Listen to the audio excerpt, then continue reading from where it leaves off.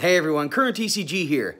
I'm feeling super validated right now. There's been a really new piece of information. It's in a video, it's in the PDF format. It's been done by Dr. Pendell Meyers, Dr. Stephen Smith, Dr. Steven Weingard, and it's called the Occlusion Myocardial Infarction Manifesto. And why I'm so pumped about it and feeling so great is for years when I was interpreting ECGs, I felt like, man, sometimes they didn't meet the ST elevation criteria, but I knew something was wrong. I could see changes that were hyperacute T waves, that were de Winter T waves, that were injury currents heading in another direction. And then as I studied and kept going with this, I was reconfirmed about what I thought I was seeing by Dr. Jerry Jones and that morphology counts. And now with this new occlusion myocardial infarction manifesto, they're proving it. They're saying that for the first time, really, here's where the studies went sort of wrong on millimeter criteria.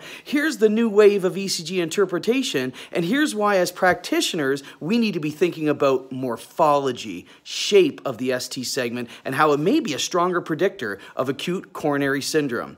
I'm going to be posting this to my website, the Occlusion Myocardial Infarction Manifesto. There'll be a video version and a PDF version. Stay tuned. In the next few days, I'll have it up there. You have a listen. I feel great. Join the ECG, the current ECG community, and visit us at www.currentecg.com.